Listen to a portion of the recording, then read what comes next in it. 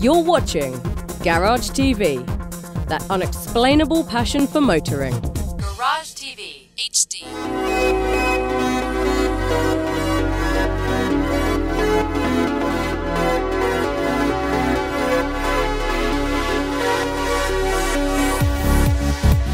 Hi guys, it's Manny Sanchez. Today, a beautiful day that's turned a little kind of gray today. We got a nice little beautiful gray Acura TL here, 2012 model. We're gonna show you.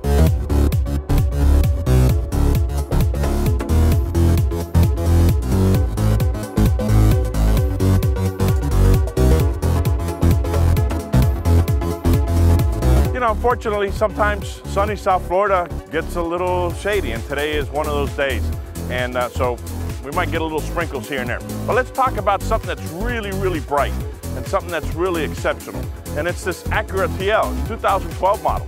In 2011 and 10 and all them uh, were pretty similar cars, though. They have redesigned the styling. And what they've done away with is that ugly beak that they had up here. They still have a beak up here of somewhat, but a lot of people, it was kind of a weird looking, the 2011, 2010 looked like it, almost looked like a, an iron beak coming out the front. And there's one in the back too, and we'll show you that shortly.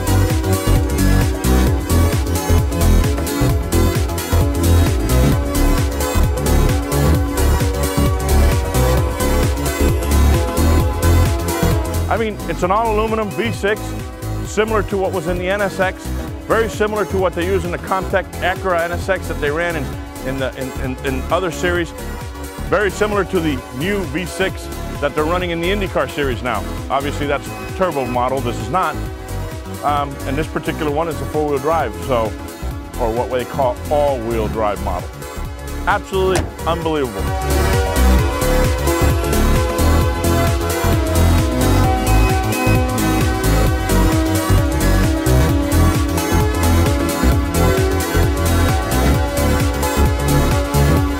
Redesigned the whole back of the car, but still has some similar lines to 2010 and 2011. Beak is kind of settled down, a little smaller, and basically they incorporated this beautiful spoiler back here. Just gives it some just sporty, uh, luxury sedan feel that it does. Let's show you a little bit about this trunk. I mean, they've even incorporated a little button here. You go ahead and hit and open up your trunk.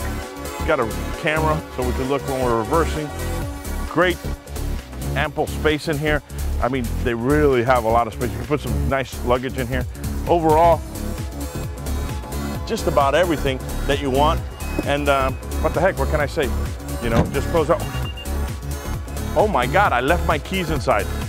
They even have that set up on the car. My keys fell in here a minute ago. I close this. I would have locked them in there. It's unbelievable. Look, look, I'll demonstrate it again. I'll leave those keys back in there. We close it, and it knows.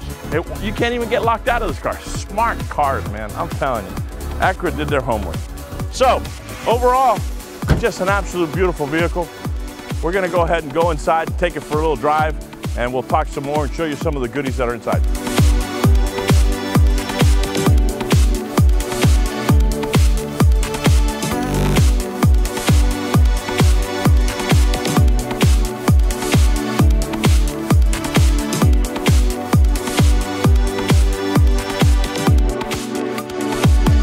Well, as you can see here, they went ahead and incorporated everything right here at your fingerprint, uh, your fingertips.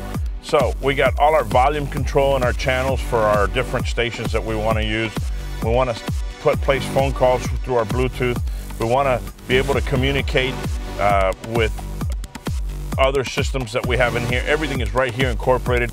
Obviously, their cruise control and their accelerating and decel. And to finish it all up, they went ahead and incorporated the little electric paddle shifts here. So when you're feel a little sporty, put in a sport mode, you go through there, manually shift the gears that you like.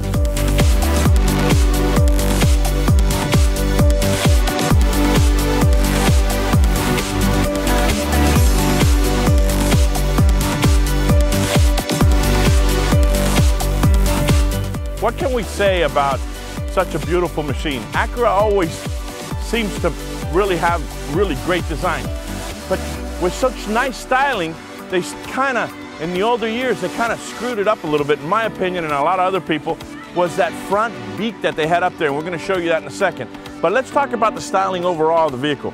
This vehicle is just absolutely gorgeous. Everywhere, everything that they went ahead and designed into it was for comfort, for, for, for safety, for just about everything you could imagine that you're going to want out of a really high-end luxury car at a price that's pretty reasonable. So, this is the SH model, which is all-wheel drive. It's got that ugly beak that they took, they got away from it. Now it's they got some really nice, more refined, but it's still a little bit of, um, they still got some some of it on there. They got a little a little bit it. They didn't want to get rid of the whole thing. I love the way they redesigned the whole fascia up front, put in some really nice styling lights, how they wrapped around. And um, overall, it's just unbelievable. We're going to show you the motor in a second.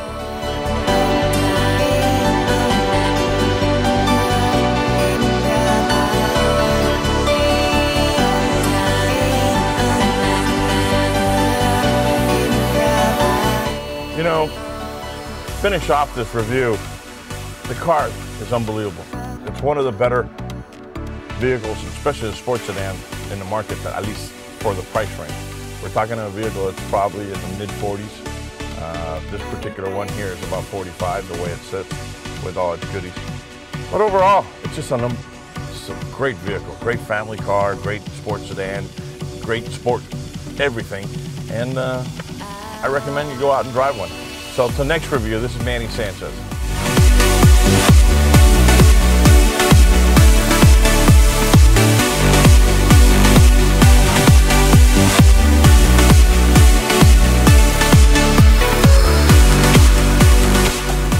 You're watching Garage TV, that unexplainable passion for motoring. Garage TV HD.